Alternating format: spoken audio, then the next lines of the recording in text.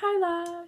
So, um, I'm going to start off by showing you my cute little Halloween snow globe. Also, I'm wearing my elk jammy shirt with my bear pajama pants.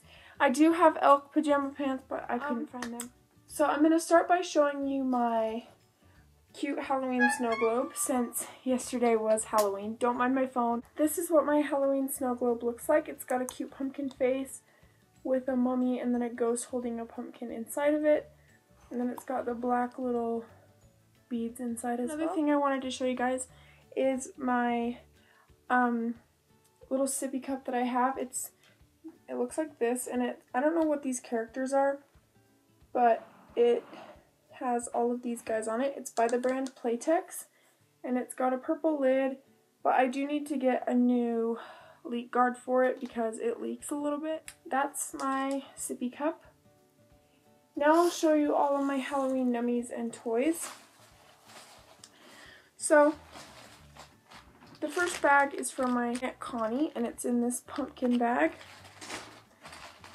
She gave me two of these little bracelets, the beaded bracelets. Crunch Starburst Halloween mix, some Skittles,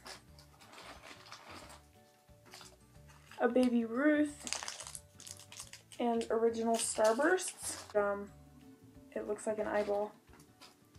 Okay, next bag is from my Aunt Gloria. So, it just came in this bag. She gave me a dollar. And then separately, she gave me this bag. It's a pumpkin bag full of Snickers, Reese's, M&M's, and Hershey's. And then she gave me a few little toys.